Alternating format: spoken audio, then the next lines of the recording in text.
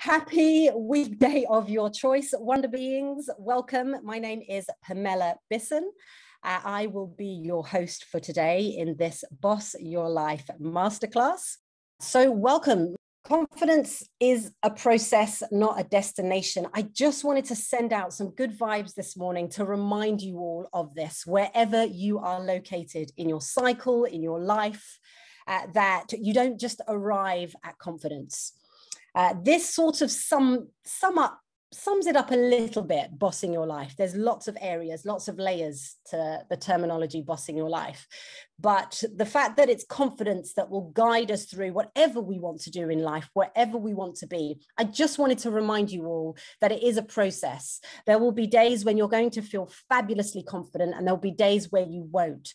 And the key is to understand why where you're at hormonally, whether you're male or female, uh, on your period, your cycle, uh, your perimenopause, or otherwise, um, where you're located, who you've just spoken to, what energies are you allowing into your life. Uh, with all of that, uh, it will set you straight on a path of understanding that confidence is a process. And you must always find some fantastic tools that will enable you to kickstart that confidence uh, and keep you going on the right path.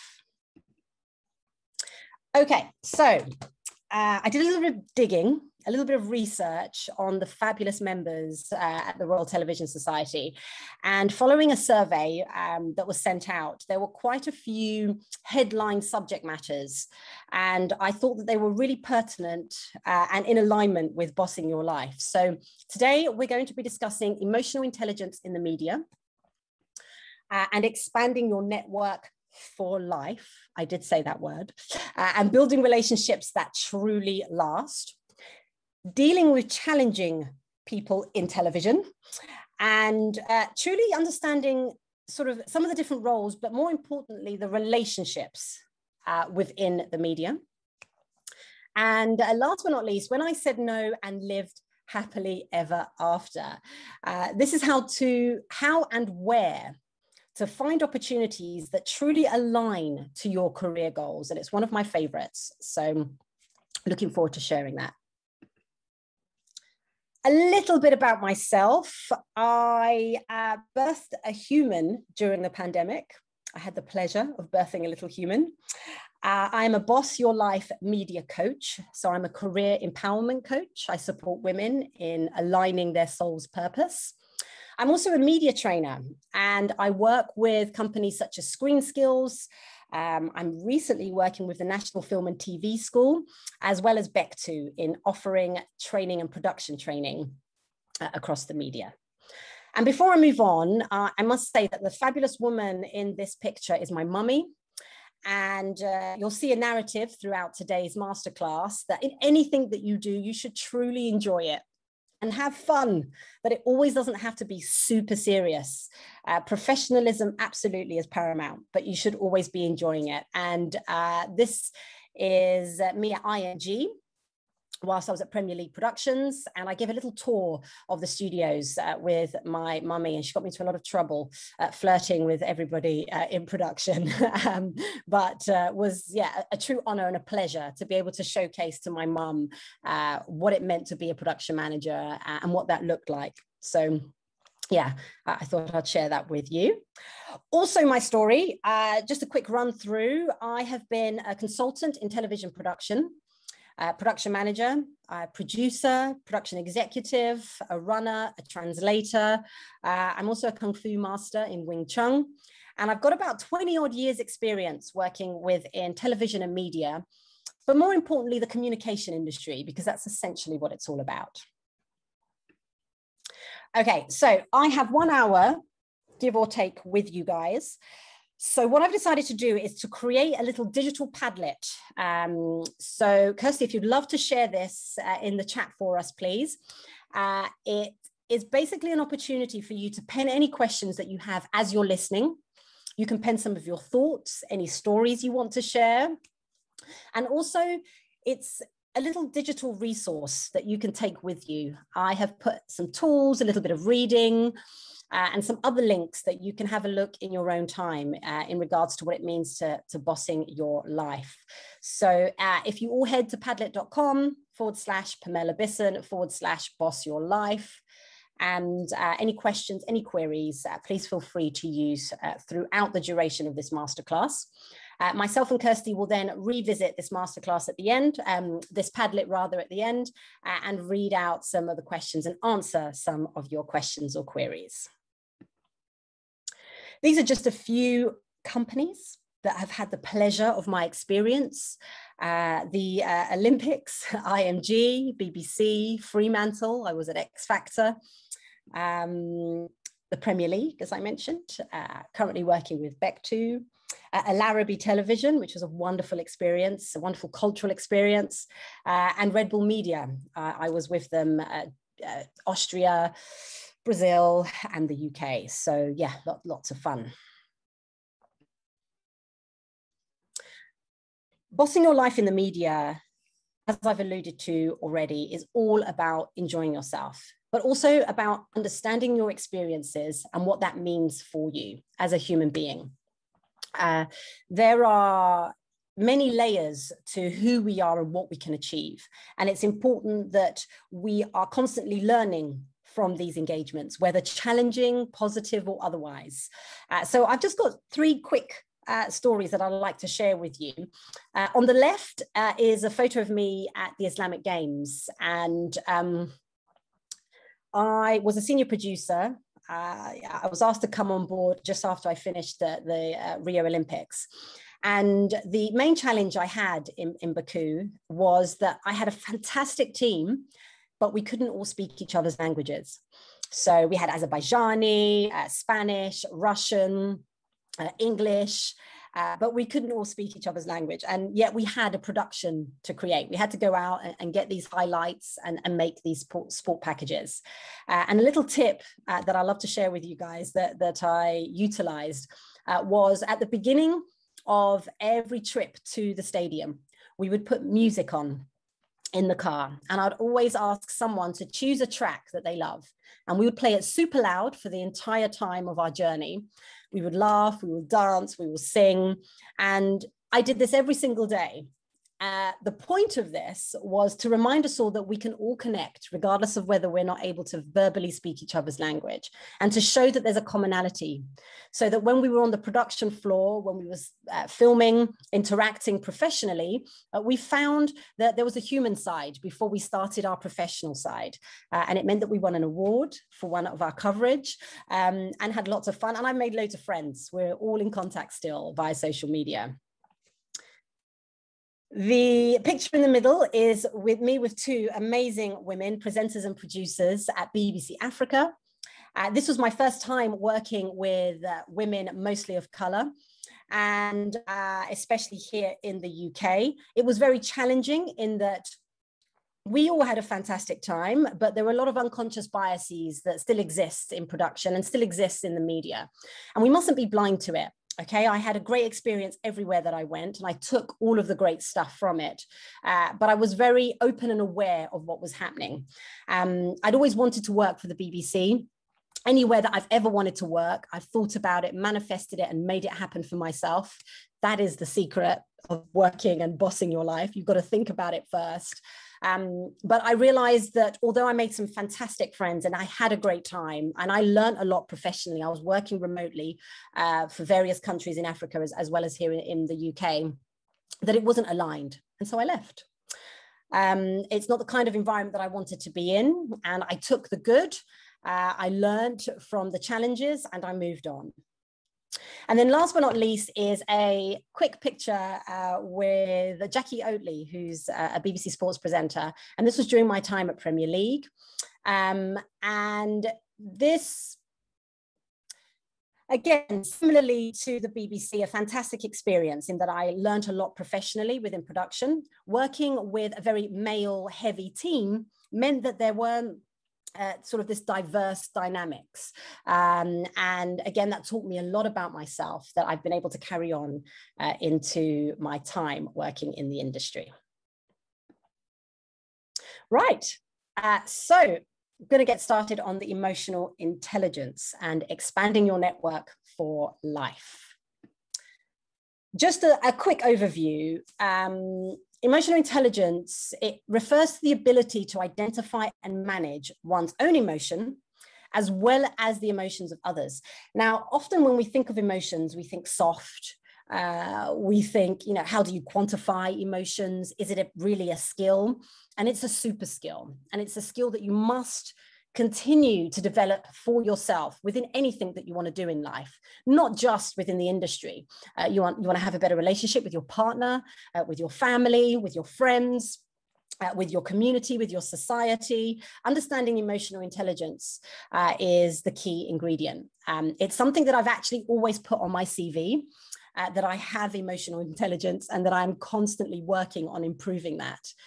Um, but it's important to also understand that it's not something you control. Your emotional intelligence is something that you manage. Um, so in regards to where you get your emotions from, I'm not going to go too scientific at this stage. I've got a bit of a science bit later on. Hormones are secreted. And these various hormones will then uh, determine how you actually feel. But you get to decide on whether or not you want to have those feelings. You actually have that choice. So I'll give you a quick example um, I track my cycle, which means that I know what day I'm on uh, regarding my period and my hormone levels. So I actually understand emotionally where I'm at. And by doing that, I'm better placed to understand how I'm going to react to others, what things are going to irk me, uh, what things I'm uh, going to have more energy for, and what things I'm not. Um, and tracking your cycle isn't something just that, that women can do or, or people who identify as women uh, anyone can track their cycle, men, aliens, and otherwise. Uh, so a quick example is your cortisol level. Cortisol uh, is a stress hormone that's actually required for your survival. And in the morning, it should be really high. So it gets you out of bed, it gets you motivated for the day. And then throughout the day, it should slowly dip and your cortisol level should be super low at the end. Um, the reason why I'm sharing that with you, working in the media is often always high energy, go, go, go, go, go. Uh, and you've got to understand your cortisol levels, where they're at, and why they may be misaligned. So, are you waking up going, oh my goodness, I have no energy, I don't want to do this? You can then evaluate why that's happening and what that means for you and your day. Uh, so, yeah, I'm just going to leave you with, with that. There are about nine, give or take, uh, points regarding emotional intelligence and sort of the key headline areas. I'm going to share three with you. And uh, one is you can communicate assertively and you're able to address conflict. Now, working in a media environment, working in any type, it can be um, slightly stressful, highly stressful, extremely stressful, all depending on your view and how you address conflict. What does that mean for you? Uh, on a side note, it's one of the reasons why I did Kung Fu 18 years ago uh, to actually help me understand how to manage conflict. Um, so communicating assertively isn't shouting, uh, isn't uh, using rude words, uh, isn't belittling, isn't allowing your ego to get in the way of what it is that you need to say. Um, I'm going to tell you, uh, uh, share with you rather a quick story. This is me in Baku at the Islamic Games with my fantastic team. Uh, we all couldn't speak each other's languages, as I mentioned earlier. And where I had to utilize some of my emotional intelligence uh, during this games was we had a fabulous camera woman uh, to my right, probably to your left, who was having a challenging time getting the images that she needed um, of the various sports that, that we were filming. And namely, because she was being told that as a woman, she shouldn't be working as a camera person, and that she that's not her place. Um, and I heard a lot of this go- going on. Uh, a lot of it was also translated to myself. Um, and I was really angry. I was like, oh my goodness, this woman's amazing. And how can we still be discussing this uh, in the 21st century? Uh, but I took a deep breath, uh, uh, evaluated my surroundings, and I went down to the pit and literally just addressed uh, the, the men in question and told them that she's here to do a professional job, that we're here as a team and that uh, she will be doing X, Y, and Z. And if anybody has any further issues, to come to myself. And I was shaking inside. You know, I'm not a superhero with a cape, although we are secretly, uh, all of us. Um, but for me, the bigger goal was the importance of, a, of ensuring that my team was going to get what they needed um, and that we were here to enjoy ourselves. Um, after that, we literally was having orange juice and sandwiches with the rest of the camera crew, um, and you know everyone. Uh, we we were able to work amicably together throughout the games. Empathy. Now, empathy, on a quick side note, is such a key element of emotional intelligence it's actually the secret in um, whether or not you're going to get a second date um, with whoever you're dating. Because if you can empathize, and uh, it doesn't mean that you have to necessarily have had the same experience, you can just empathize with that individual. They feel loved. They feel like, oh my goodness, this one, this person understands me. Um, and it's a great way of building real relationships in any aspects of your life. And a quick story that I'd like to share with you uh, regarding empathy was during my time at Premier League, I was mainly uh, managing and working with men of various ages. And there was a young guy that turned up and he had a black eye. And he walked into the office, and uh, everyone was sort of, Oh, what's happening? What's going on? Some people were laughing, you know, other people said, Oh my goodness, what's happening? And he said, Oh, I was playing football, and you know, somebody elbowed me in the eye. And as he was explaining this, I was looking at his body language. Um, I'd known a little bit about him and his background and his story. And it wasn't aligning what he was saying in the production office um, and uh, potentially what I felt he was feeling. So rather than uh, creating a story in my mind, I decided to ask him in for a quick chat, uh, just to, you know, how are you feeling? What, what's happening? If you want to share anything, uh, you know, if, if you want to go home, that's okay.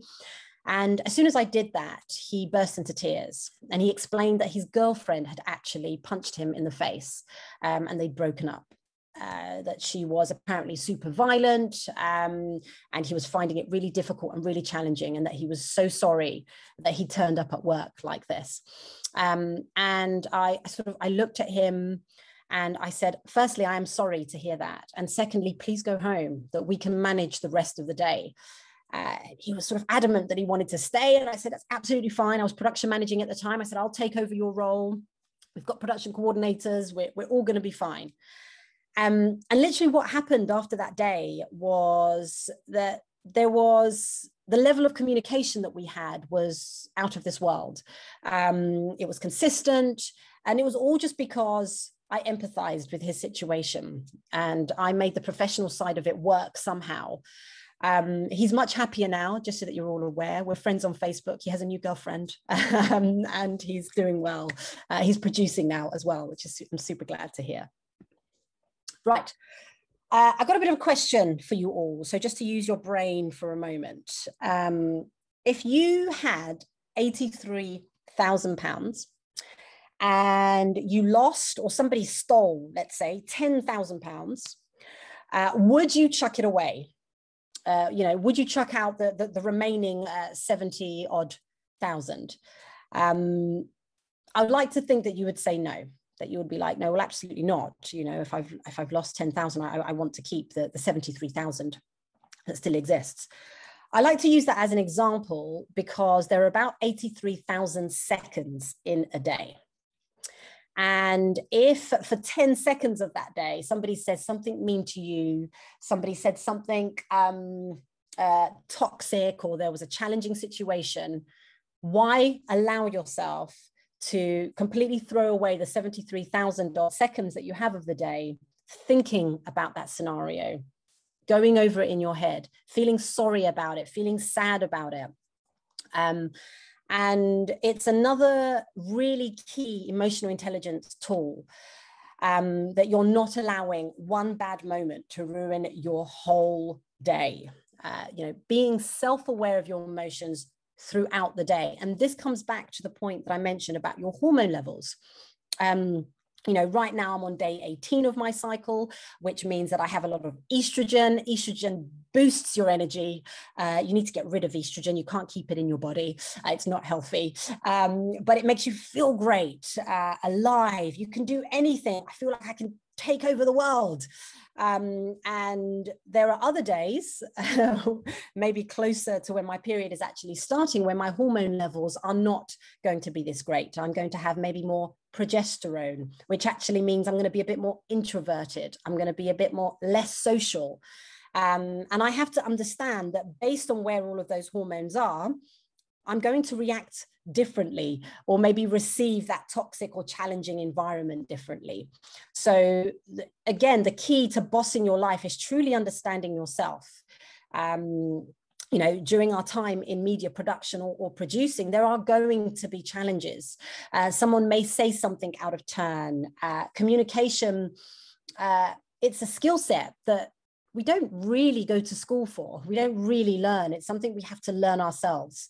So culturally, you may have different people within your production uh, that's that uh, approach things differently, that vocalize things differently, um, and it's really important to understand what that means for you firstly in terms of where you are so that you can uh, approach it in a way that's going to be conducive and really positive um, so being aware of your emotions definitely throughout the day is really important. How much are you eating? How much coffee? Um, are you topping up your energy levels? Uh, are, you know, are you snapping because your sugar levels have dipped? Do you need to ensure that you're eating healthily throughout the day?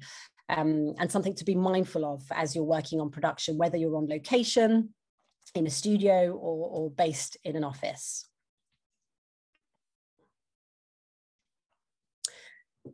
Okay, so with understanding your emotions, where you're at, what that means for you, uh, it's really important to know that uh, the best time to build a network is always before you need one.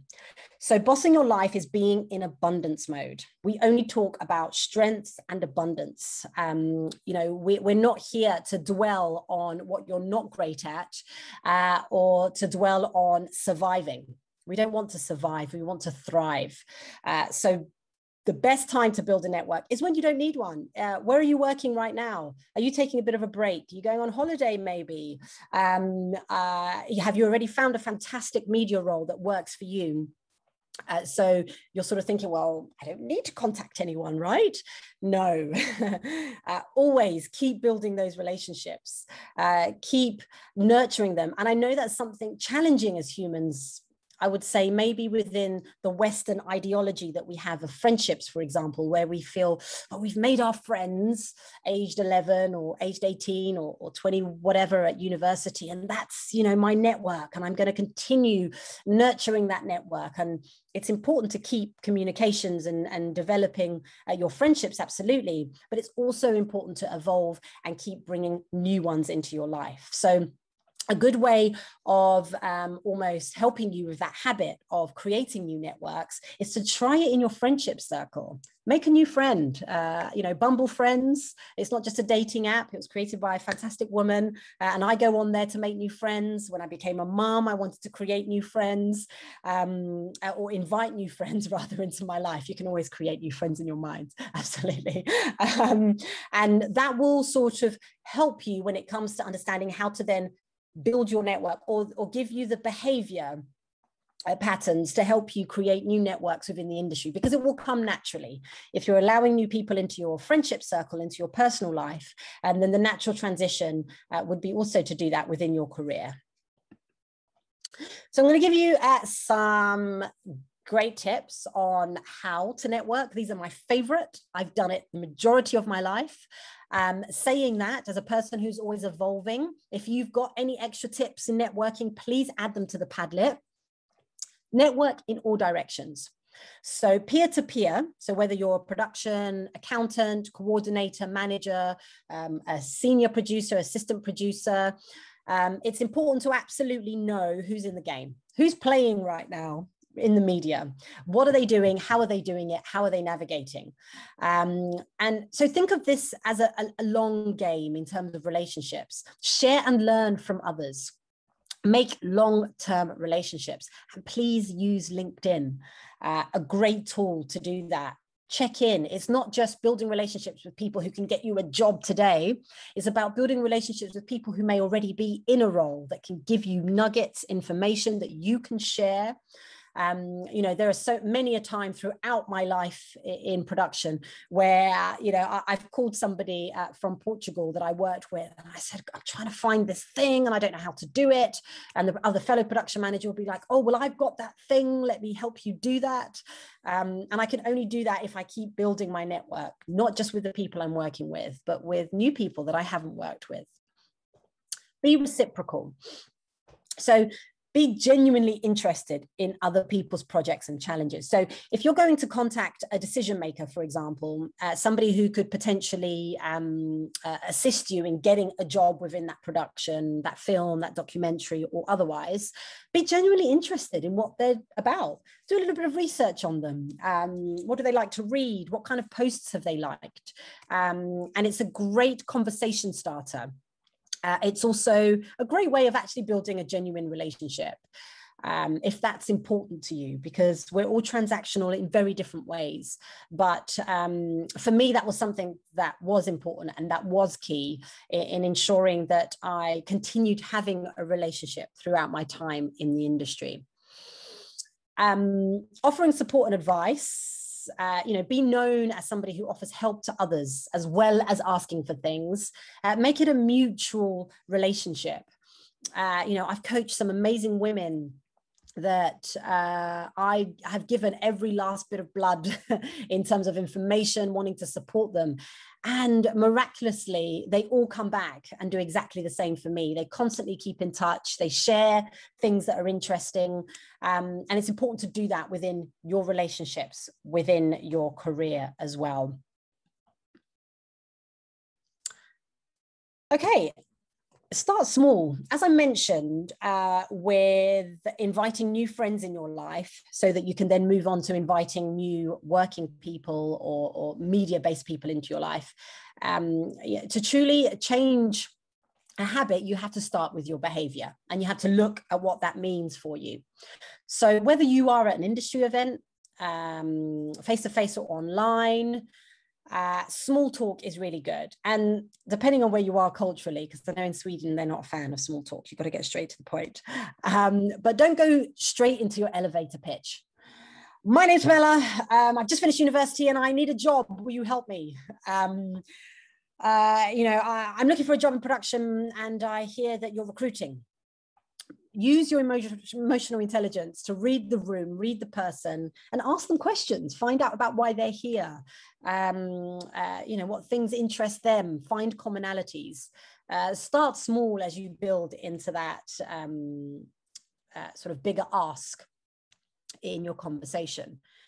And you know when you naturally get to to to work, you you know ask what exciting projects they're working on um, you know, that's a good way of transitioning from maybe small talk into let's go into professional mode. I really liked that one because I was actually genuinely interested. I only want to work in fantastic projects. So I wanted to hear the other person going, well, we're about to do this crazy thing where you put people in a house with cameras uh, and it's going to blow your mind. Um, so that's a really good one. And, you know, just give the conversation some time to develop. That's, that's really key. Uh, anytime and any place. Bear with me. Networking doesn't just have to happen in an industry based event. I found out really early on uh, during my, my time in the media that it's expected that you're going to exchange business cards back then or now LinkedIn uh, profiles and everybody sort of knows why you're here. So yes they may, may, an may make an effort but they may also feel like oh there's just so much. I'm being bombarded. Um, you know is there anything original? Is anyone actually sharing something different with me? Or is everyone just asking me for a job? Uh, so i liked the the thinking that you can actually just network anytime and any place um, with friends in social settings um, you know, I've got a picture of a wedding here where I had a conversation with somebody who was an executive. Uh, we were having a wonderful time in the sun, and they explained that they've got a project that they um, needed help getting greenlit. Would I like to help remotely? And I said, absolutely, uh, in between dancing um, and throwing confetti. So just be open to that.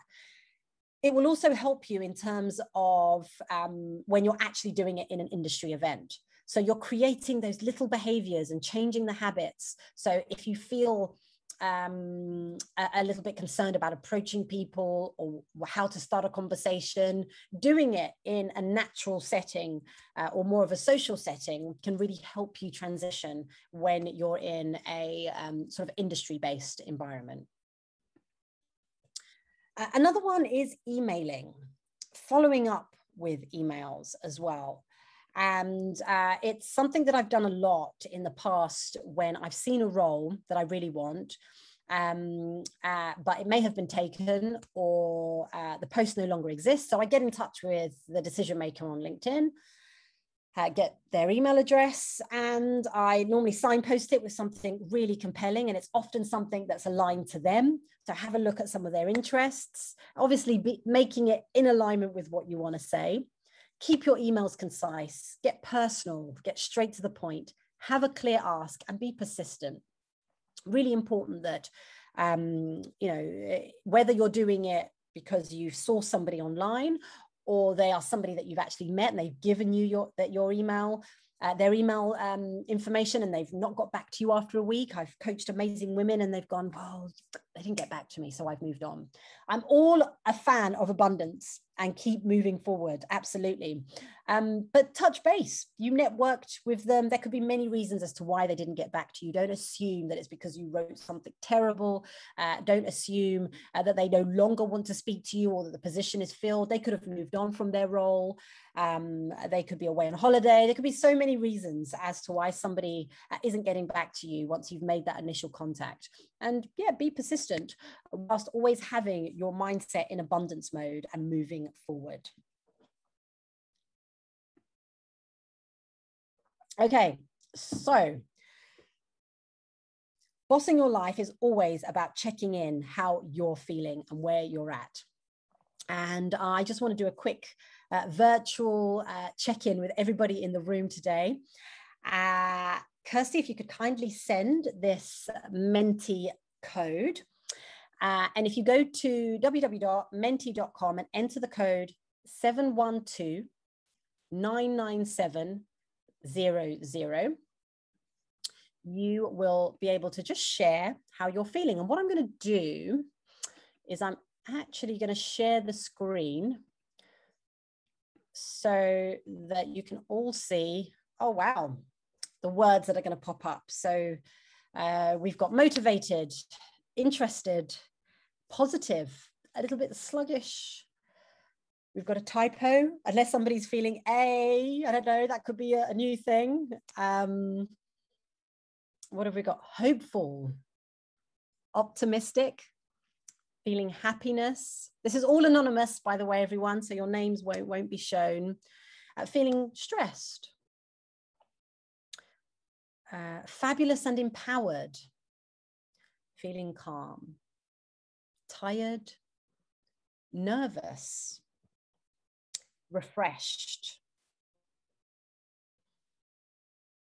I think it, it, excited, optimistic, and positive uh, seem to be uh, the main feelings uh, of everyone in the room. That's why it's highlighted um, there in bold. So thank you very much for sharing, everyone.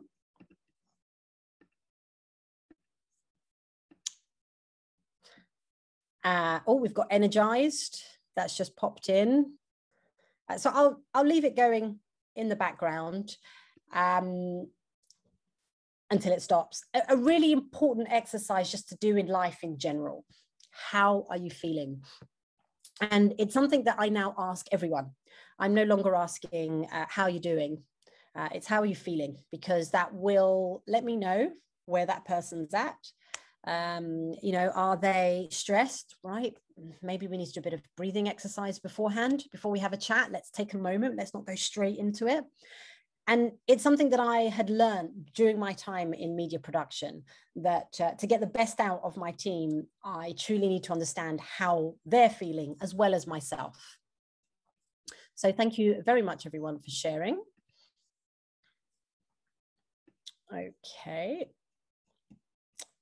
So dealing with challenging people or challenging people in, in the TV world, sort of just understanding some of the roles and the relationships in the media. Now, it's going to be slightly controversial, everyone, um, and I hope that you're okay with that. Uh, because I know I've stated here understanding different roles and relationships. And I was thinking, well, I could really go down the road of explaining the role between a production manager and a production coordinator and um, all the hierarchical uh, titles that we're given in this capitalist patriarchal system. Um, but then I decided, what if I told you that it actually just starts with you? And it starts with a hug. Bear with me. I know it's a pandemic. Bear with me. This, this, you, you, it will all make sense. Um, it's a little acronym that I use when working with anyone challenging.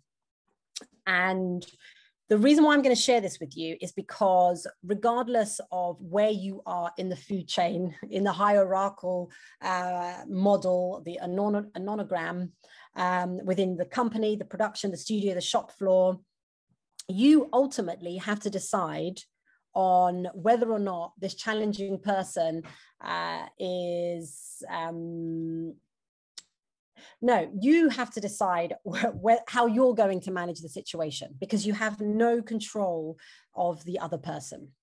So, first of all, we need to hear them. Uh, when you've got somebody that's super challenging, uh, that's requesting something, that's not able to communicate, uh, we're often in our own minds because we've created an unconscious bias picture of who this person is. We've labeled them, right? They're the angry one, they're the happy one, when actually we have all different layers. Uh, so in our minds, we're, we're quick to just want to respond and sometimes attack. Uh, or defend if you're doing kung fu karate um, and you want to def- attack or defend your position right now somebody's asked you to do something they've said it in a really challenging voice and you just want to go Rah! or actually no that's not what happened and bat it back at them um, it's really important just to step back and actually just listen to what that person is saying. Take out the emotion, the tonality, take out the unconscious bias that you have about that individual, um, and respond back to them what they've actually asked you. And what you're doing is you're doing a bit of empathy there as well. You're actually empathizing with them. We have no idea what's happened to that challenging director, producer, or individual because a lot of the time we don't actually share, we don't say that we're actually feeling stressed, sluggish, tired um, and we just assume that everybody's on our frequency. So, you know, they could have lost a, a parent that morning. Uh, they could have had a really bad accident, but felt that they still needed to be in the office. They made that choice. Um, so often just communicating from a, a, super professional and a logical perspective in that moment uh, will ensure that you are communicating effectively. So you can say something like, here's what I heard you say. Is this what you meant? Um, and a lot of the time, uh, it actually shifts people's behavior because they're like, oh, you heard me. Uh, as opposed to uh, you just saw this scary person shouting at you. So, with my HUG acronym, let's start with hearing. Then the U is to do the uncommon thing. And I've mentioned this a lot within bossing your life in the media. It's, it's actually just empathizing. Let them know that you understand where they come from.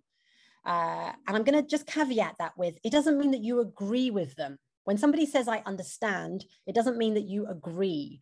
Uh, and that's really important to, to acknowledge that. So you're, you're not relinquishing any um, thoughts or feelings that you might have about their behavior, you're understanding where they're coming from based on having asked what they heard, what you heard.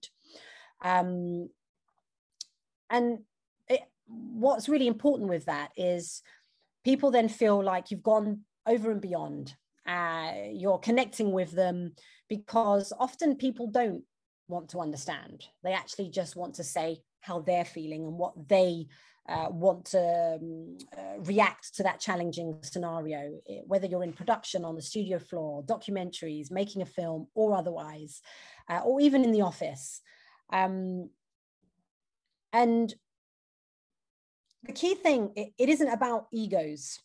Um, and uh, you know, it's not about being right or being wrong. It's just it it's it's about being safer in your mind.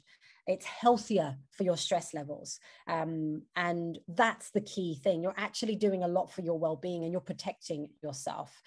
Um, you know, sometimes we sort of we lose compassion in our day-to-day habitual obsessive living um, you know the the capitalist system a lot of the ideologies that have been created that we live in uh, aren't actually conducive to the human compassionate mind and it's something that we tend to squash because we've got to get the job done so do the uncommon thing and, and empathize and then the G in Hug is to guide them. This is one of my favorites. And you can use this not just in production, just not just in the moment, but at the very beginning when you've got the job, you've got that production coordinator role, you've got that uh, assistant producer role, that first AD role, that director role. Um, and now it's time for you to actually outline what your terms are. Um, if you do this at the very beginning, it's fantastic, but it's something that you should also do when you're in a challenging environment if you've not had that opportunity or if it's somebody completely new. Sometimes people project what's happening to them, as I've mentioned, onto you.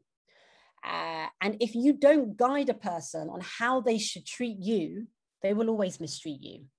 And the scenarios and the conversations will always be challenging. Um, so really understand how to guide a person in how they should talk to you, in how they should engage with you. Uh, ensure that in every difficult or challenging situation, you remain respectful, you're honorable, uh, but you're not allowing people or situations to use you by just keeping quiet and not actually saying that this isn't actually how this isn't appropriate. Um, a really quick uh, example of that that I, I, can share with you during my time uh, in the media. Um, uh, oh, at Premier League, for example, uh, I was working on one of the many productions, and I this was sort of a social chat, but it was still within a working environment.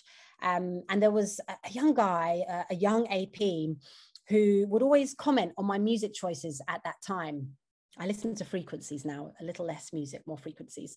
But uh, at the time, he'd always comment and he would sort of say something, oh, you know, I'm going to the gym, for example, and he would say, Oh, you're going to listen to some hardcore hip hop, hip hop or something, and just use really uh, language that wasn't how I spoke. Um, and he said it once, and I was like, well, gosh, that didn't make me feel good about myself. Um, the next day, he said it again. So I said to him, actually, I, that doesn't make me feel good about myself. I would rather that you didn't say that. And from then on in, he never mentioned it again because I told him, I guided him as to why that was inappropriate. And I didn't find that um, we was having a genuine, authentic conversation. And it didn't make me feel good. So that's also a really good tip in how to start that guide. Um, if there, there's a challenging situation, if somebody's shouting at you, you need those production files now. I need to have this call sheet right now. Why haven't you done it? take a moment, breathe, and say, actually, what you've just said doesn't make me feel good about myself. Um, and uh, I would prefer for you not to speak to me in that tone. Really important, wherever they are on the scale. So, whether they're the head of production, the CEO of the company, or otherwise, it's really important that you guide that individual in what's um, aligned to you in terms of how you speak and, and what's important to yourself because they're not going to know. We're not mind readers. Um, so it's not about coming from a place of anger. It's really important co- coming from an empowered place, uh, whoever you're working with. Right, I just want to share a quick reminder before uh, the last 15 minutes of this session to invite you to pen your questions that you have for me at the end of the session uh, any questions at all regarding bossing your life on your own terms, uh, whether it's a scenario that you're going through right now, uh, whether um, it's just something that you want to ask in general, or maybe some of the topics that I've, dis- I've discussed so far. Um, oh, great. We've got some comments coming through. They're all anonymous as well, everybody. So your names won't be on there. Uh, so please be free to be candid um, and to share what, what you truly would like some support on today.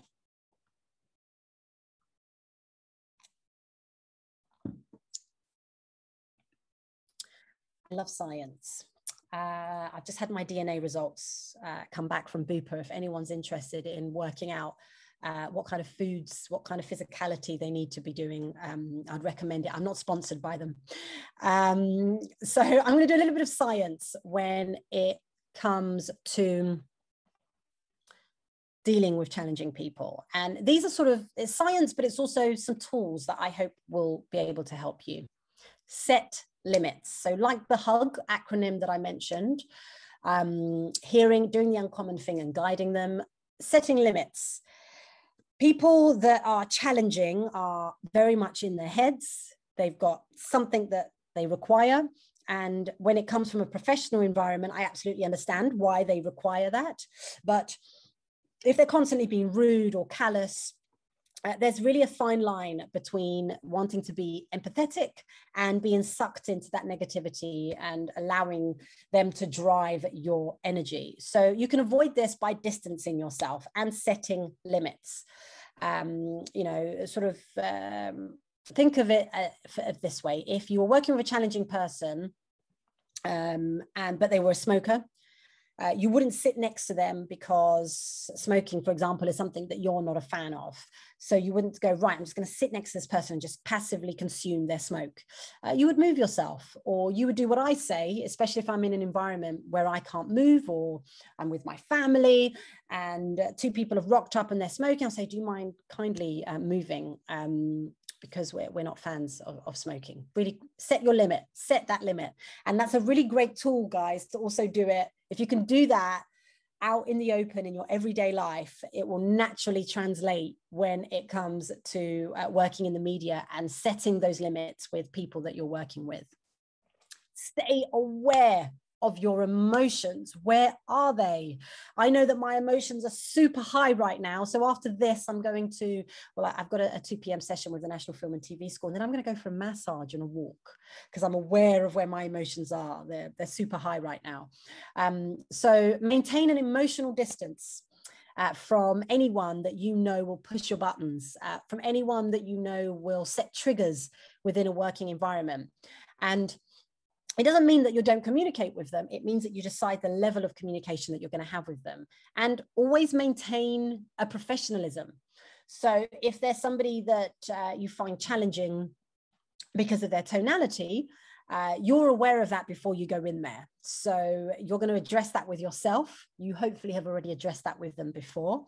Uh, and then you're just going to receive the information that you require for that production. Right, I need to rig this production, uh, um, I need to, sorry, Recce, uh, this location by this time. Thank you for letting me know that. Keep it super professional because you're aware of your emotions, where they're at, um, and how you may potentially react based on the challenging person in front of you. Establish boundaries. Now, I know this sort of a little bit similar to setting limits. With the limit, you're, you know, you, you may be explaining it then and there, but this is more about are you working on your terms? What are your personal boundaries within a professional environment? The best thing to do is to think about it.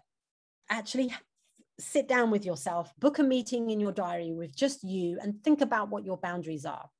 Pen them, write them down, and then learn to discuss it.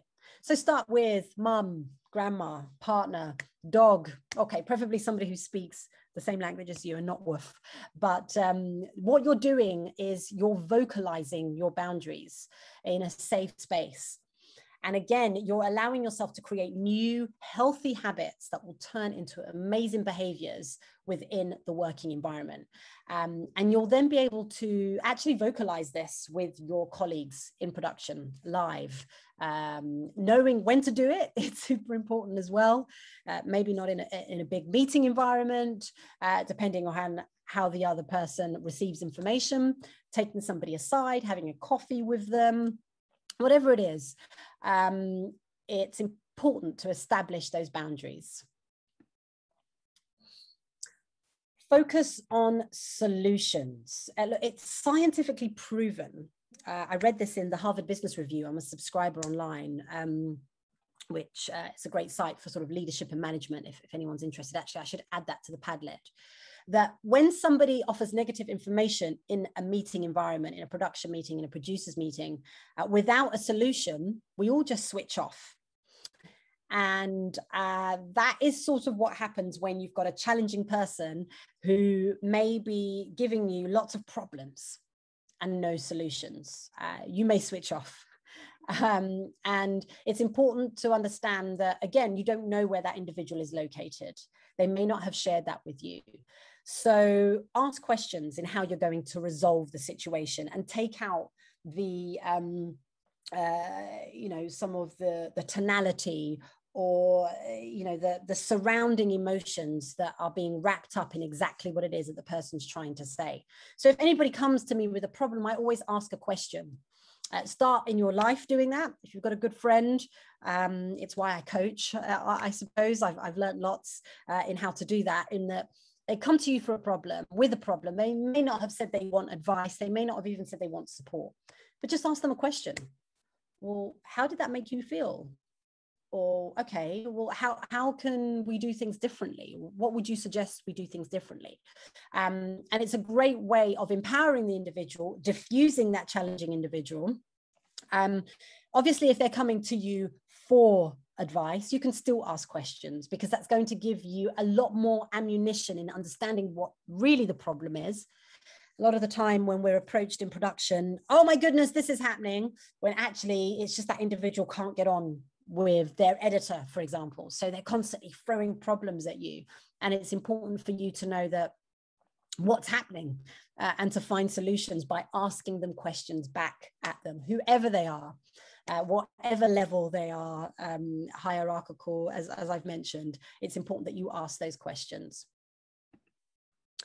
Last but not least, is get some sleep like this fabulous baby. Um, it's so important that as you navigate your media career, your life, that you get sleep. Uh, there, it's scientifically proven the um, the wonders that sleep does for us. Um, it, the main thing, it actually helps you with increasing your emotional intelligence and managing your stress levels.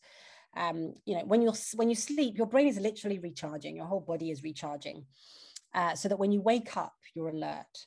So, what's your mattress like? What's the environment in your room like? Uh, in my room, I we just have a bed and windows. There's nothing else in there. It needs to be completely dark uh, so that we can have a really good night's sleep. What's your routine leading up to going to bed? Um, just as important as your routine when you wake up. So, if you don't have enough sleep, you are it, it's going to raise your cortisol level, the one that I, I mentioned, your hormone level um, but it might not raise it for a good reason, the motivational read reason. Um, and so even without a stressor present, uh, you're going to be going into environments that are hugely challenging and you've not had enough sleep on top of that. Uh, a good night's sleep will make you more positive, more creative, more proactive in your approach to toxic and challenging people in the industry. Um, so yeah, just super important to get sleep. Um, I think it's Michael Matthew Walker, Why We Sleep. I'll add that to the Padlet as well. Um, it's a great book. A British scientist who breaks down the reasons why we need to sleep and how that can really help you within your career. Right.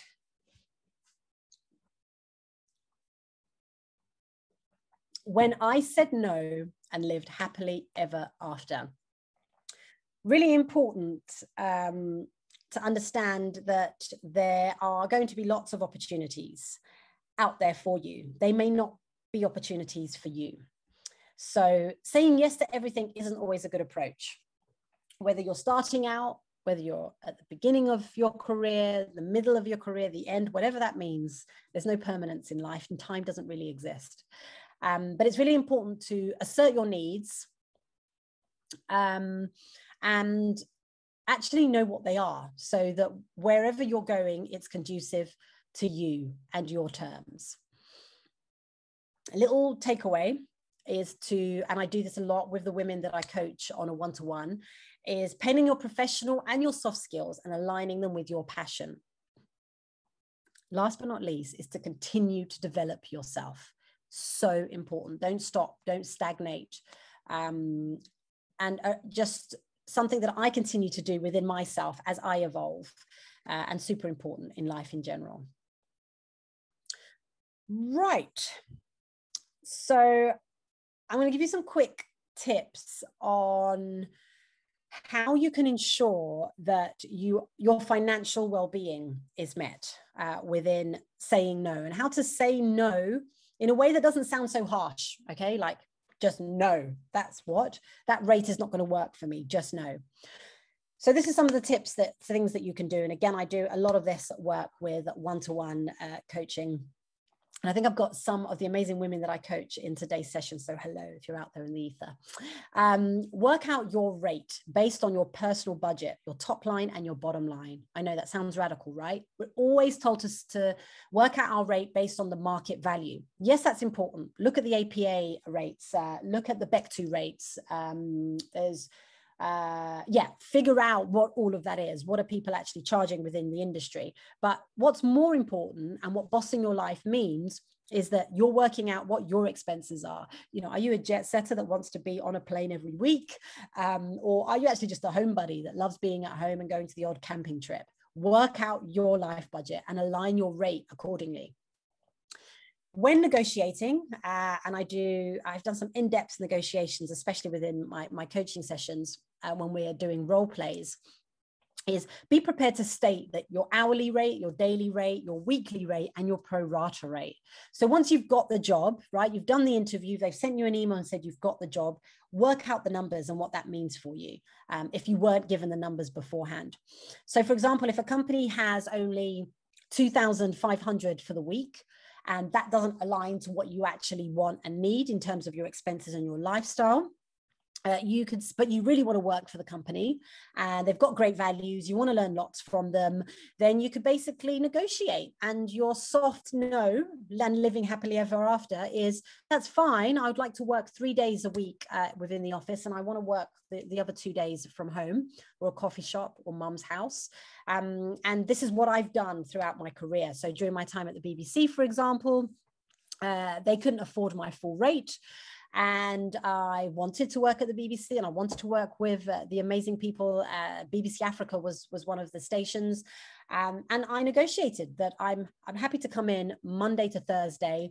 Uh, I think I negotiated something 10 till 3. Those were my working hours. And then on a Friday, I'd work remotely. Uh, and that really worked for me.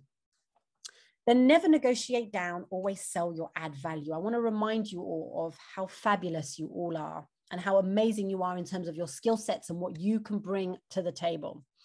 But when negotiating and somebody uh, goes, well, actually, it's a bit high, we don't have that, or this is the rate, take it or leave it, take a deep breath.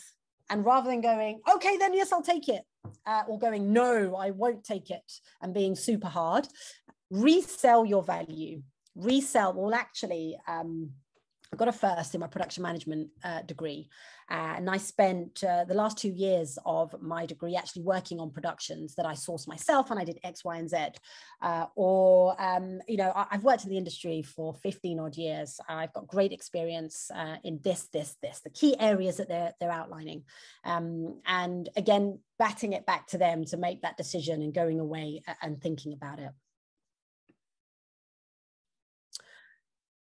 Um, another thing in ensuring that you are saying yes and living happily ever after, just doing a spin on that, is researching the company business records. Check out who they are, how much money are they making. I did this for um, BT Sport I knew they had about 26 billion that they spent on Champions League. Um, and it bodes well in many ways. You sort of understand where the company is at financially, although business records can always be skewed um, depending on uh, what accountant you have. Uh, but it also good stead in terms of your negotiation money wise and also just conversation uh, if that's relevant within the interview scenario. Source the decision maker always source the decision maker when you are trying to find out more information on a role, for example. Um, or you want to apply for the role, find out who it is that is actually recruiting for that role. So that's why it's good to start with your peers. If they're already working at BBC Three um, and there's a role uh, for an assistant producer at BBC Three, you can ask them, hey, you know who's actually recruiting for that role so that you can get in touch with that person or that individual directly uh, to find out more information about the role before you even apply. It's something that I do every single time. Um, bossing my life means I want to know just as much about the company I'm going to potentially be working with um, as much as they might need me. Ask questions about the productions. So when you've got that opportunity to speak to whoever the decision maker, director, head of production, CEO, whoever it is you've tapped into, uh, production coordinator, ask about the production. Uh, ask about the company culture. I'm really mindful of that. Um, navigating the world as a woman of color, it's really important that I understand what diversity there is, uh, what that means for me and my well-being. So I ask, um, and a lot of the time everybody says it's great. We have beer and pizza. And that's like okay, that's a good start. I don't drink beer, uh, but we can see where we can go from that. Um, I'm just mindful, everybody, uh, that it's actually 11:32. Um, I'm going to be wrapping up shortly, um, and I hope that you can still stay with me. And thanks for your patience on me going over slightly. Another good way of asking about the company culture is um, actually calling up the company and speaking to the receptionist if they have a receptionist, even during the remote times uh, that we're going through at the moment. Um, it's a great way of, uh, first of all, a lot of people just want to be put straight through to whoever it is, and they don't often have a conversation, a human conversation with the receptionist, and find out what they're about, and, you know, what they want to do in life. Um, and then they will often actually just share some really good nuggets about the company, how they're treated. And for me, that's always a good marker or an indicator, indicator rather, uh, to the company culture um, because that's generally created by the people that they recruit. So uh, definitely a, a, good tip with that. Do excuse me.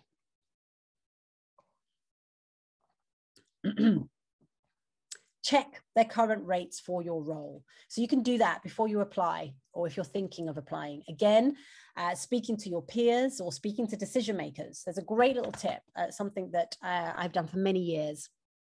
First of all, getting a mentor is a good way. If you've got a mentor in the industry, it's a fantastic way of checking out rates. Um, and somebody who's been doing it for a very long time is, is always fantastic. I have one uh, myself.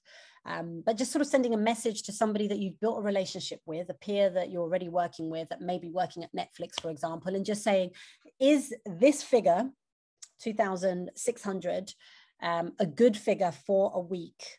Uh, based at Netflix. Um, and just so you can gauge. So they're not telling you how much they're getting paid, but they may be giving you some information. And if you've got a good relationship and they're open to sharing that with you, that's even better. And then never compromise your well being. Uh, so if anything doesn't make you feel good, and once you've addressed it with yourself, you've addressed it with the individual or the company, you don't have to stay there, guys. Bossing your life means that you are working on your terms. something doesn't feel good, have a look elsewhere. Uh, think in abundance. And when I say doesn't feel good, I don't mean challenging in a way that's going to help you grow, because that's a good thing. I mean making you feel uh, completely stressed to the point where you're sick, unwell, not able to do your work, not able to communicate. Um, you're having negative uh, thoughts about yourself, not that butterfly feeling that's like, oh my goodness, am I going to get this right? And you're going to know what that means for you. I use butterflies because that's literally what I have in my stomach. Before I do anything that I love, that's important, I know I'm going to grow from that moment. And it's actually going to help my well being but don't compromise on it. Really, really important. Um, the way to not compromise again is to be in abundance mode. If you're looking for, for jobs right now, look for loads of work. Do that leg work that I've just mentioned, but look vast. Uh, look externally outside of the UK. Um, work out what that would mean for you after. Um, there's always opportunities. You've got to um, allow yourself to knock on the doors that are important to you.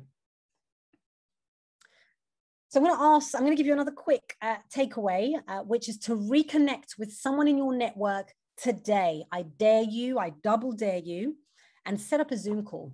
Whoever it is, someone you've worked with, a peer, a decision maker, um, just send them a, a message on LinkedIn and say, can we have a chat on Zoom and get the conversation going?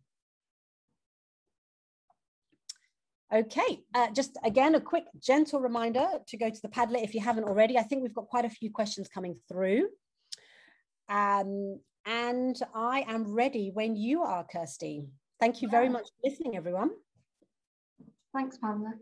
Um, so yeah, we've got quite a few questions. Um, I'll start with the first one. Um, it's from a recent graduate. Um, I recently graduated and I'm trying to find my first grad job. Um, I'm aware of how competitive TV can be, um, especially while in a smaller city. What are your thoughts about working part-time jobs alongside searching for your break in TV, especially as someone who struggles with money? Okay, uh, first of all, um, thank you for your question. Congratulations on graduating. I hope that you've patted yourself on the back and you've had a party for all the hard work that you've been doing. Thoughts about working part-time. Okay, a lot of that has to do with your sensibility and how you are as an individual. And you've already mentioned some points that you find challenging. So, absolutely, working with, in a job outside of TV is only going to do wonders. And let me explain why. So, before television, I have worked in McDonald's, in Sainsbury's, in shoe shops, market stores. I started when I was 13. Um, don't tell anyone. I don't know if that's legal or not. Um, but what that's done, it's made me a super effective communicator, not only in being able to share my story, but also in supporting that of others, empowering others. Um, and I've had a lot of learning and hiccups along the way.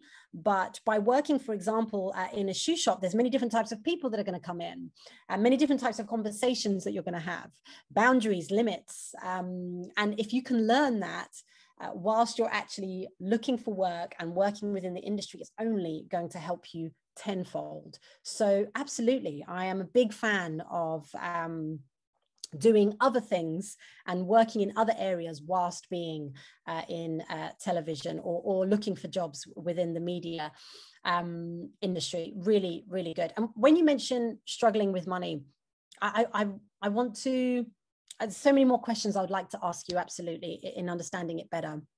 But please take time to actually um, build in your financial literacy so, something that I, I do one to one with my coaching, not only helping people actually find jobs within the media, that's, you know, that's super important. That's the end goal of the coaching that I do, but it's to empower them to have the tools to understand how they can continue to navigate way beyond working with myself. So the, the thing that I always mention is financial literacy, read, um, understand about where money came from, uh, you know, go right back, uh, understand what it means for you, understand the languages that you're using about money. Um, how is money spoken about in um, your environment? Is, is there abundance? Is it always uh, struggling, thriving? Um, and work on ways uh, to change that behavior and those languages for yourself. And if you can align all of those things, everything you do uh, will feel more so like it's coming from your terms as opposed from external. So uh, questions I would ask you, are you struggling with money because everyone else around you has money? Or you never have enough money at the end of the month, uh, or uh, you know, are you looking at the external world of energy, or are you actually looking inside? What work have you done when it comes to your financial literacy? Do that uh, alongside working anywhere to, to build on your communication skills um, and you'll truly boss your life. Thank you very much. Um, the next one, um, so there are a few uh, questions around mental health and anxiety. Mm-hmm. Um, so I'm worried about my mental health is going to hinder me trying to achieve my career goals.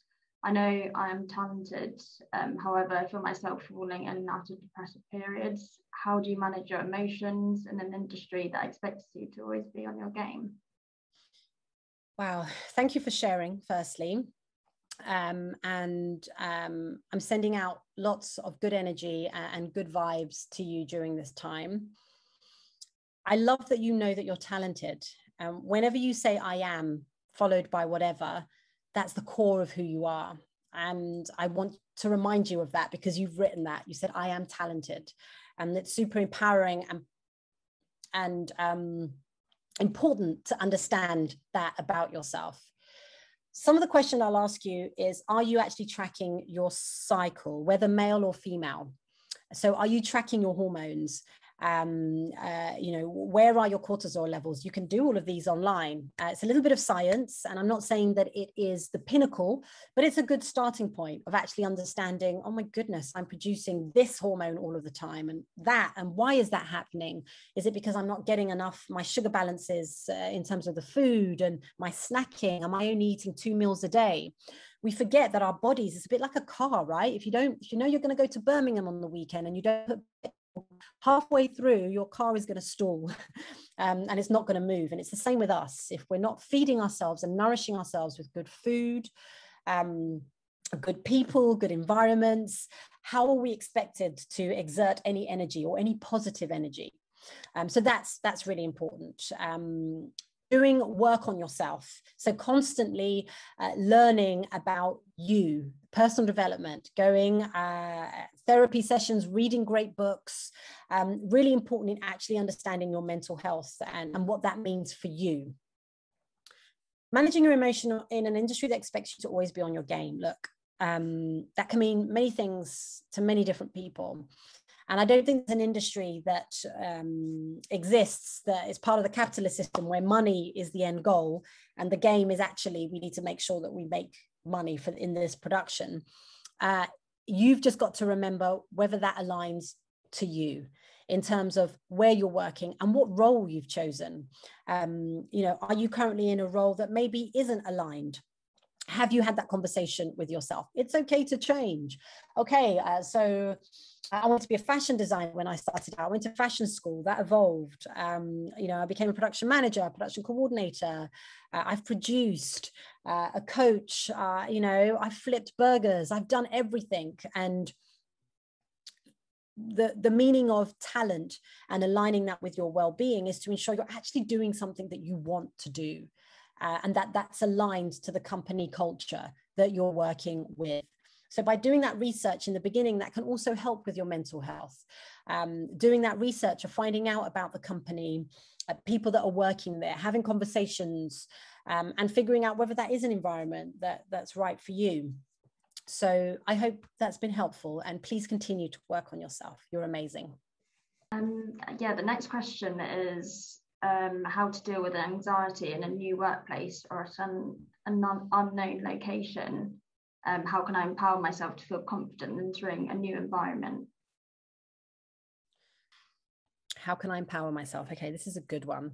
Um, first of all, thank you again for your question. And we all have tools to help us with our personal hygiene, right? Uh, if our breath smells, uh, we know that we've got to brush our teeth or that there's something furry on our tongue and we need to clean, clean our tongue out. So we'll, we'll reach for things. We'll reach for a toothbrush. We'll reach for um, mouthwash, non-alcohol mouthwash for me, whatever works for you. And it's the same with our mental well-being. We need to have tools that we know we can reach to or, or turn to if we're feeling a little bit down, a little bit anxious, and we want to feel empowered. So, again, it's something I love doing with the amazing women that I coach one to one. There are so many different things you can do. Um, but I'm going to I'm to give you one. Um, and for me, it's affirmations and saying them out loud. I am great. I am confident. I am amazing. I am strong. Uh, I am divine. Uh, whatever it is that you want to say. And what you're doing is you're reaffirming, you're connecting your brain with how you want to feel and with the actions you then want to give um, within that environment.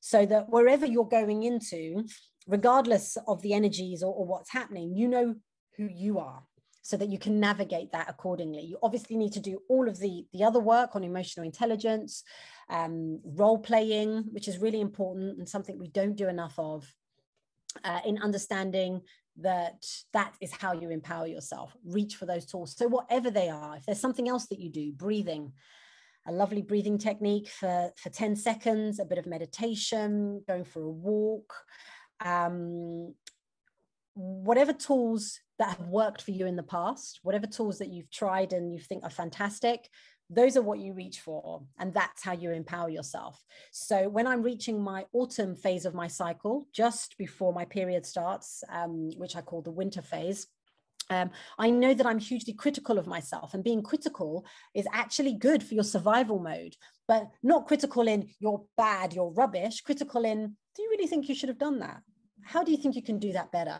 And those are the conversations I can have in my head with myself because I know where I am within my cycle.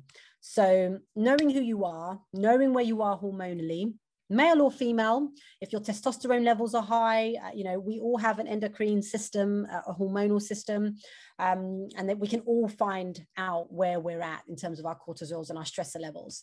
Um, and then just finding the tools that are your go to and make them easy for you make them really easy to, to, to obtain, you know, have your affirmations written somewhere or have something that you can easily check in on your phone or listen to, whether it's frequencies, whatever works for you. Um, that's super important. I hope that was helpful. Thank you. And um, so, do you have any advice on that moment when you're alone at an event or networking, that everyone is much older and in their own groups talking amongst themselves, and you feel like the useless fifth wheel? Okay.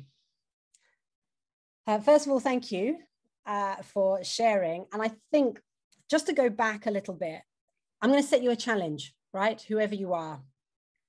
And um, be safe because I know it's a pandemic. But if you're going out today or tomorrow and you see a group of people, I dare you to just go in and say hello to that group of strangers what you're doing is you are uh, nurturing your brain and your physicality to do something that's a little bit out of your comfort zone.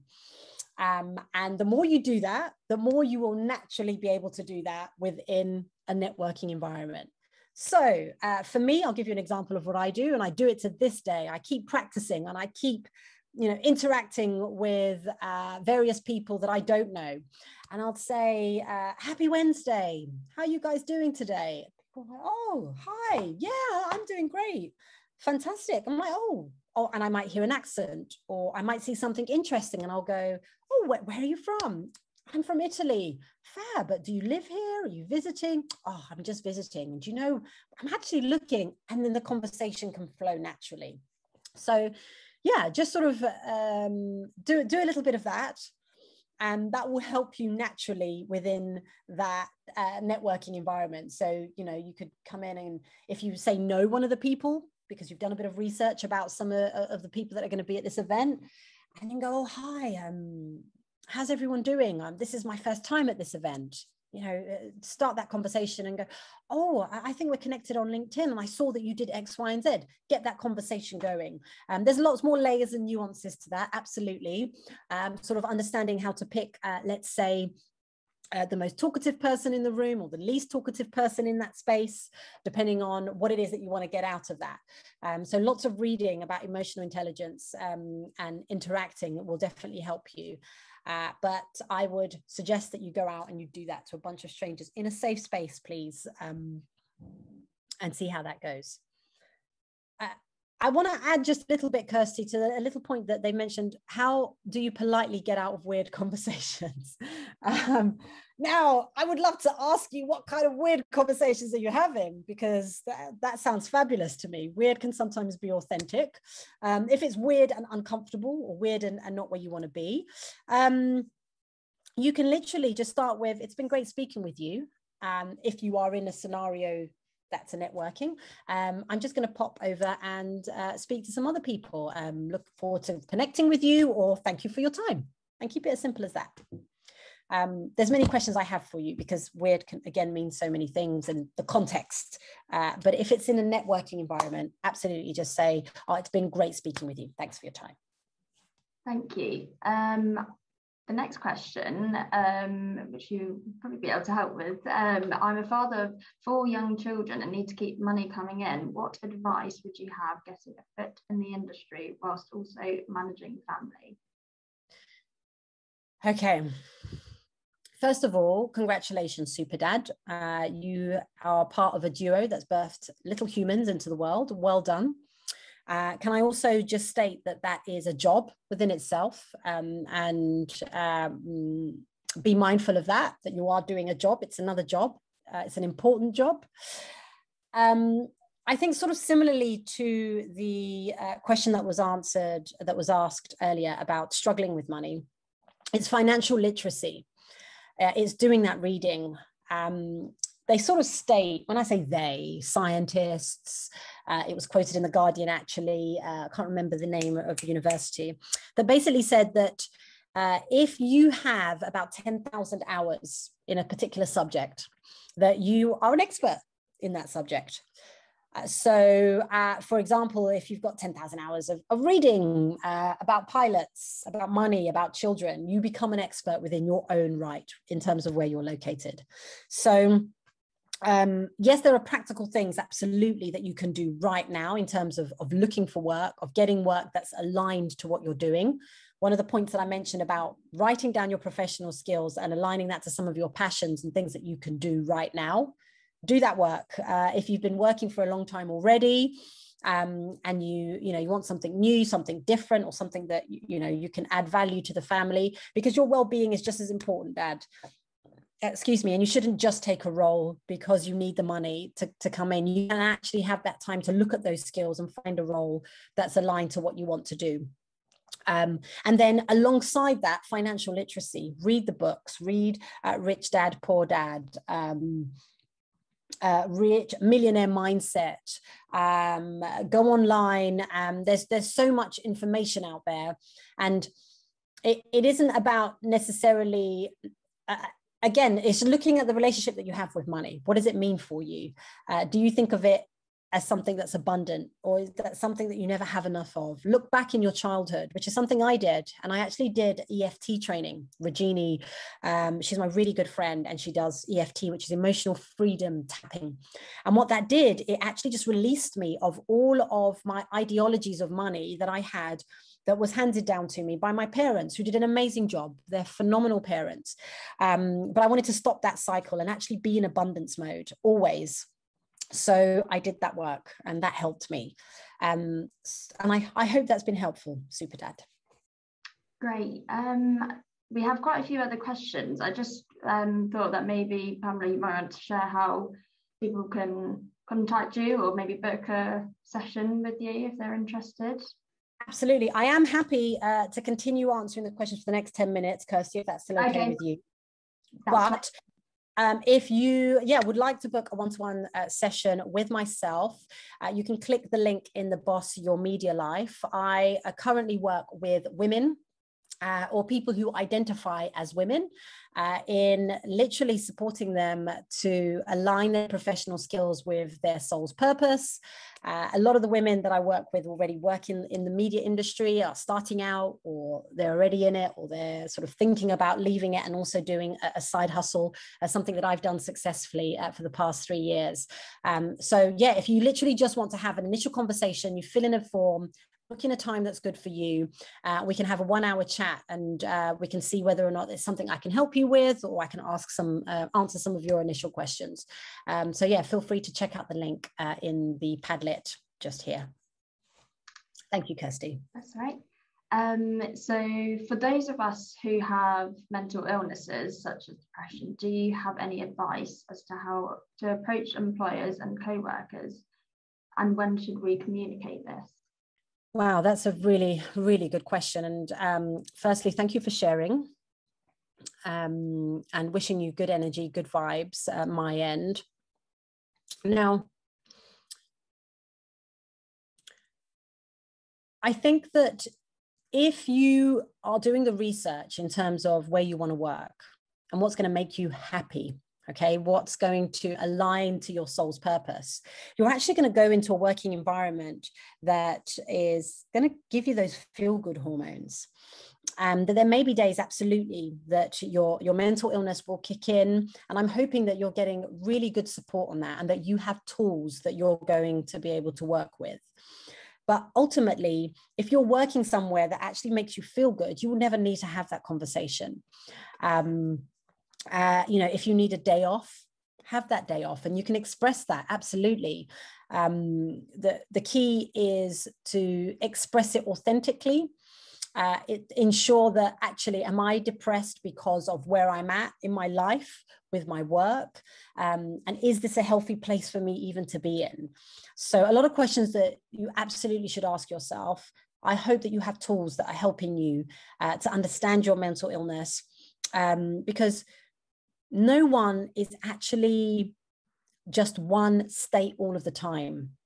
They're all varying levels of mental health and mental illnesses. Know what that means for you. Know what your triggers are.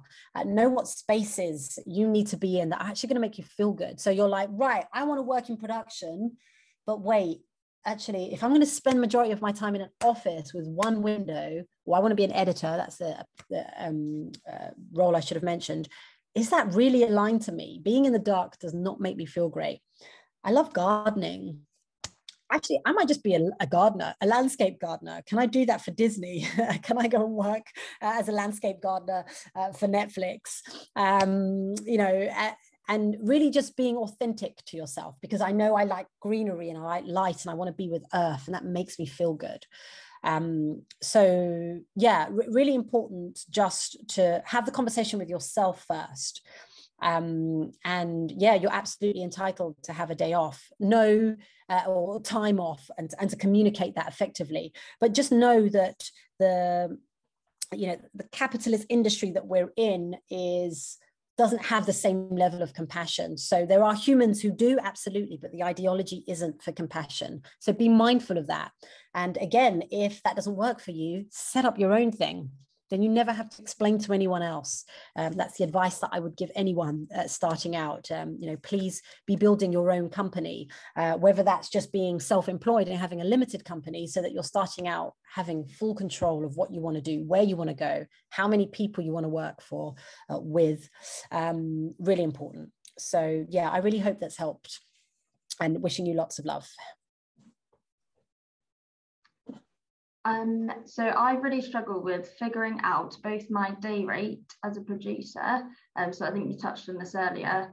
What is my true rate versus my years of experience, and also communicating that to decision makers when I don't know yet this is a rate I am quote unquote worth. Okay, day rate as a producer. First of all, thank you for sharing. Um, totally understand where you're coming from. I've been in, in this scenario myself. Um, so first of all, I want to take you back to the points that I mentioned in the masterclass, which is you need to work out your life expenses. What is it that you need to live on in terms of everything? Um, your bills, your life, your jet setting lifestyle, whatever it is that you want to do. What is it? What are your bills? Like I can categorically tell you uh, how much I need to live on for the year.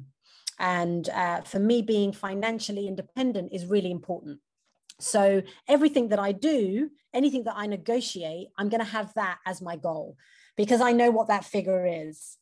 Uh, so then whittle it down and do the research that I've mentioned, speaking to other peers, other producers, finding out how long people have been pretty much, just so that you've got a gauge, you've got a, um, some figures to work with. Because look whether you are um, working for the bbc or for netflix they're going to have different budgets different rates. Um, there isn't an industry standard. There are just company standards based on what budget they have. So that in mind it's really important that you know what figure you need to meet to reach to buy that house um, to ensure that you're traveling to a different country every month for a year, which is something I wanted to do in 2018. And I did successfully because that's what I did. I did that work beforehand. Um, and also be mindful because I like what you said my true rate versus my years of experience. I'd love to know more about what you mean about that and dig deeper. I've got a few more questions that I would love to ask you. Um, but taking it literally for, for what I see, it's important to know that, ex- that you your rate is actually that your experience um, and that you you it's not your time so I'll give you a quick example. During my time at BBC Africa, I um, negotiated some work at BBC Brazil. And for me to be able to do that, uh, they wanted me to do some extra budgets for them.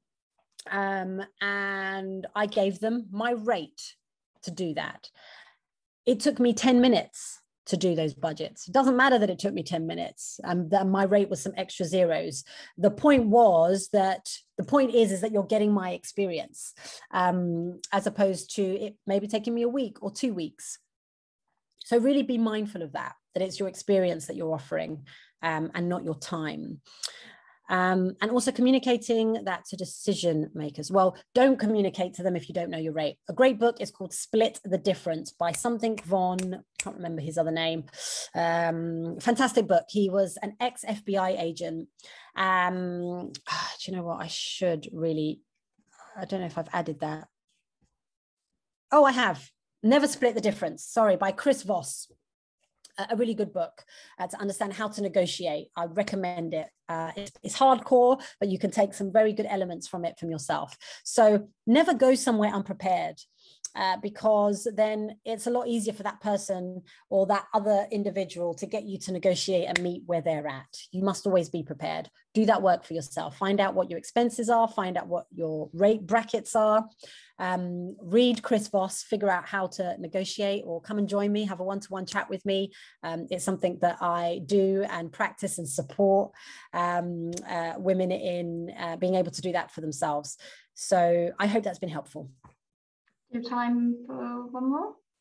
Yeah. Yeah. Yeah. Um, do you think age is a barrier, such as um, a mother with a long career gap? Um, it can seem impossible. What was the last bit? Sorry. Um, do you think age is a barrier, such as a mother with long career gap? It can seem impossible. Okay. Uh, again, I would have lots. First of all, thank you for sharing. Um, I'm actually speaking. Uh, I've got a one-to-one session with a mum next week. I'm super looking forward uh, to speaking with her. Um, in short, I am going to say no because the limitations are created by yourself. So if you believe that the age is a, a, um, a barrier and that you've had a career gap, then and that you don't have anything to bring, then that's true. But if you believe that um, by being a mum, you've acquired many other skills, you may have done many other learnings uh, during that time, um, uh, created, uh, you know, maybe some online courses, done other things, or if if not, then just being a mum is enough. Um, then that's also right, and that you're coming into an environment saying, "This is actually what I want to do because these are my skill sets."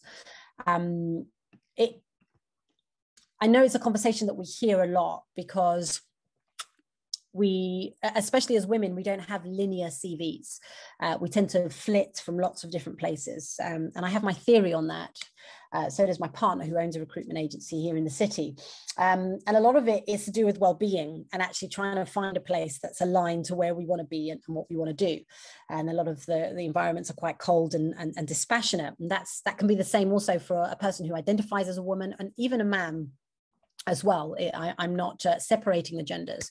I'm, I'm just talking about the, the ideology as a whole. Um, and it, it's always sort of seen as sometimes a negative thing that you've taken some time out. But how you communicate that, how you address it, and how you align that to where you want to go is really important. So, uh, something that I've actually done myself that I'm, I'm happy to share, having been in the industry for a long time and decided actually that I don't want to be in the industry anymore. I want to be able to empower and support people who are in the industry. And then I went to a next level and I did all of that work in understanding my skill sets, had a baby, and realized that actually I, I want to coach even more um, and that is my soul's purpose and i'm going to align those skill sets and even if you know I, have taken i haven't actually had any maternity leave or taken some time out but i will be um, that and, and you know having that break means that i can actually work out what i really want to do and where i want to be um, and then when you're going into interview scenarios or situations you're going into them with conviction because they're actually aligned um, so your mindset in terms of how you approach uh, your next stage is going to be super important. But uh, I wish you all the best, super mum. You'll be fine. What advice would you give to someone who is mid level talent struggling to overcome the industry biases as it relates to BAME female talent in mid senior positions? This has prevented me from receiving opportunities despite using network, my network and actively applying for roles, especially within TV and film, it's been ex- extremely difficult to overcome this and has affected my mental health. Thank you very much for sharing um, and uh, sending you good vibes, good energy. Um, I'm just trying to understand slightly. Do excuse me. Um, what advice would you give someone who is mid-level talent struggling to overcome the industry biases as it relates to? When you say BAME, I think I did an article recently, and I don't like the word BAME, so I'm trying to process this in my mind. Um, but as it relates to BAME talent immediate, this has prevented me from. So, are you saying because you are in the BAME acronym that you are not being able to um, move above mid-level talent um, or mid-senior positions because of how you're being perceived in terms of whether your color, your language, um, and if that's the case, that's how I'm going to answer uh, from that. I totally understand where you're coming from. As a woman of color, I've had to navigate a system that uh, doesn't believe I can be professional, um, that has lots of unconscious bias, and so many layers that uh, in some cases don't even believe I'm human. Um, you know, what that means for me is I've flipped that around and I've gone, well, actually, I can communicate on so many levels with so many different people I am not just going to be holden to, first of all, one industry, but more importantly, just to one area. So some of the questions and some of the things I can um, back, back at you is like, are you looking internationally? Are you looking outside? I've worked remotely internationally. Um, at much higher levels, I've consulted um, in areas where I haven't been able to consult here in the UK. So, like Red Bull Media, as an example, um, and then was able to get on a plane and just travel to Brazil, Austria. I was literally there one week in the, uh, in Austria and one week in the UK, um, and loved it because I was, um, you know, my my experience was taken seriously. Um, I was in a more of a consultant role, which is something that I wanted to do. Uh, I got travel, um, and yes, there were unconscious biases that I've had to deal with, um, that I've approached if I felt they were reasonable at the time, um, if it didn't make me feel good or if it affected my mental health another thing that's really important is just to have take some time if you have a week two weeks a month three months however long time means for you and actually just reevaluate your skills and have a look at the things that are important to you and see if you can transition that elsewhere. Uh, see what you can do in terms of maybe a side hustle that can be a business whether it's something uh, in terms of incorporating all of your skill sets um, and making it work elsewhere. The key is to constantly be asking yourself the question if this isn't making me feel good what will? Um, what do i need to make me feel happy um, and to be mindful of my mindset? Um, I, the news reports they're really important absolutely. Um, and uh, you know it, it's important to find out what's happening uh, dip in and out. For me, for my mental well-being, I don't read the news. I don't listen to the news apart from once every month or so with my partner. And when I do, I make sure that I'm reading lots of different types of news um, so that I get a breadth of understanding, whether it's news in Africa, China, Russia and the UK, um, because for my mental well-being, that's super important. So going back to the point, you have 10 years experience. That's phenomenal. You sound super knowledgeable. You're professional. I can hear in the way that you're talking. You've got great energy. You know who you are. So just figure out where you want to be um, and stop dwelling, or not stop, don't dwell on the places that aren't aligned to you. Um, and if that door isn't there for you, or if that's not a door that you can um, comfortably walk through, then look somewhere else. Be in abundance mode um, and always come from a place of uh, just challenging your own biases. Like, well, why do I want to move up? Is it because I want to make more money or is it because I want a title? Well, if it's because I want to make more money, maybe I should go into cryptocurrency. No, I didn't say that, okay? Because I'm in cryptocurrency.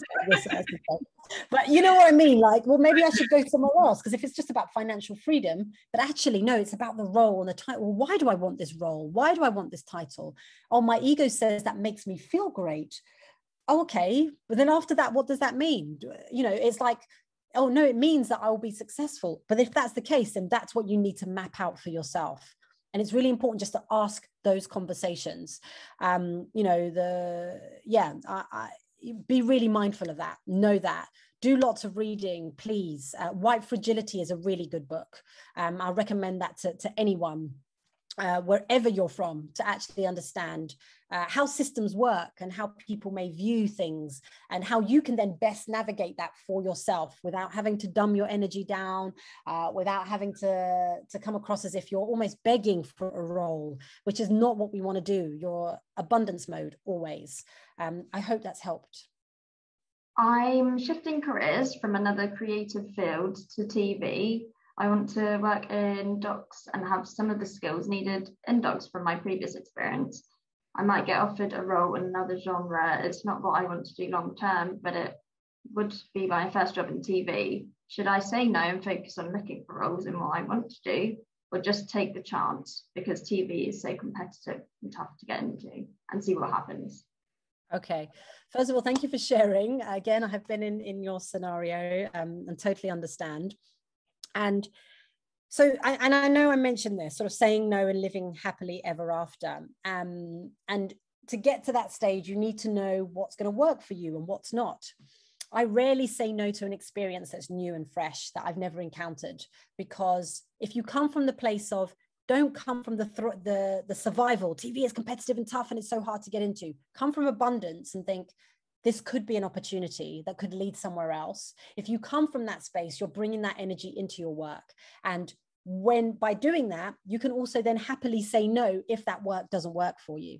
But if you go into that space going, oh, this is it, there's nothing else there, it's so competitive, I've got to do it, I don't like it, I hate it, but I'm going to do it anyway. What you're doing to your brain and your your your um, sort of you know the cells and, and all the chemicals and hormones in your body is, is you're saying now that I'm here, there's really toxic things happening, but I'm going to stay here because there's nothing else. Whereas if you're going into the situation with, right, this is going to be a new experience, I'm going to learn something from this. Um, uh, it's going to be amazing. Um, but there's so many more opportunities out there. So when you're in that scenario, you're going to take all of the good things. And if you see challenging things, feel challenging things, you'll be a better place to go, actually, this isn't for me because you've trained your body to and your mind to actually know what should feel good because you're coming from a place of positivity um, as a place of scarcity, which then keeps you there because you're living in fear and thinking, I can't jump ship or go anywhere else. Um, I hope that's helped. Um, and yeah, go out, live experiences, do amazing things, and just always check in on yourself. Really important. Thank you very much. And just lastly, the last question was Would you consider opening the coaching one to one to to males too. Super dad in need of advice, relating back to the previous question.